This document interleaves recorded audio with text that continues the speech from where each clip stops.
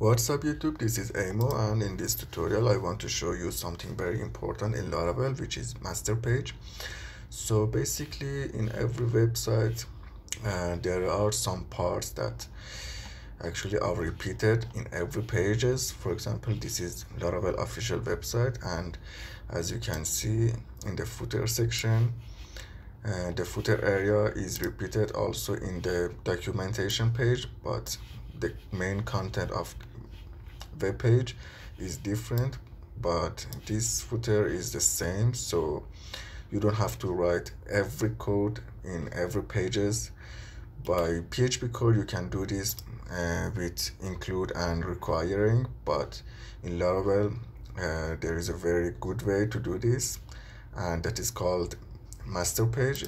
You can do that with master pages. So if this is my route and I'm returning index.blade.php I have to create a new file and call this again index.blade.php but for example there is another file which is about.blade.php and uh, now I have to create a folder and call this layouts. And at this folder I, I create a new file and call this master.blade.php okay. So I put my main uh, HTML tags here.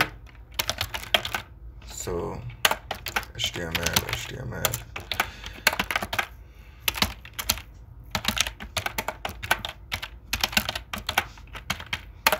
and here also. Head and for example here comes title. And I name this as project. And at the body I want to use different content for about page and index page at the body section okay? But firstly I have to include this master page at these pages. And for doing that I say extends I say layouts which means layouts folder go to that folder and after that open up master. So notice that I use dot sign instead of backslash because Laravel uh, will understand this that this dot sign means backslash and means just go to that folder and open up master.blade.php then after opening that I say yield I name this yield content and what does and this do it basically uh, open up a section for you and you name it uh, like content or main or anything else but I named the content. So in my index page I can easily say section.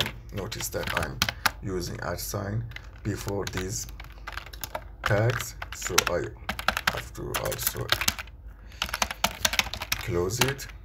And this section is named just the same name that I use in master page. So it is content so I use this content also in index page. And then I can say h1 index page okay. Now I can copy hold codes to about page but this time it is about page okay? So if I create a new route also for my about page it loads the about blade.php okay? So if I refresh the page as you can see this index page is appearing and basically it loads first uh, this master.blade.php but when it comes to this area it loads this section because I put my h1 tag here inside of this function this section.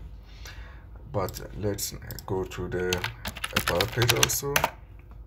As you can see this one is different from the previous page and it says about page. Okay you can do this for your title for example at yield title so i named it yield and for example at index i can say again at section and title.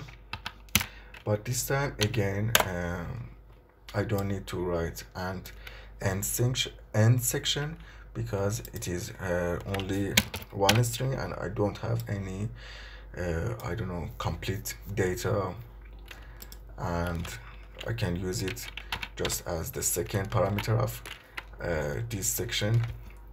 So I say for example index page. And again I copy this for about page. And I can say about page okay?